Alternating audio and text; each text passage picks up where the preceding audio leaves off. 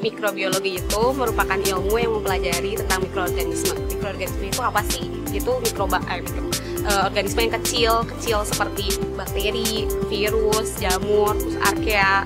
Nah, kemudian di mikrobiologi ini kita mempelajari tentang interaksinya, interaksi mikroba itu dengan inang, dengan uh, kemudian peran mereka dalam bidang pertanian, uh, makanan, lingkungan, juga obat-obatan. Kemudian uh, di mikrobiologi ITB ini kita belajar cara untuk menumbuh kembangkan mikroba, cara untuk mengontrol pertumbuhannya. Kemudian selain itu kita juga belajar untuk pengaplikasiannya dalam kehidupan seperti uh, rekayasa genetikanya, kemudian cara untuk membuat makanan fermentasi yaitu makanan yang melibatkan uh, mikroba untuk dalam proses pembuatannya.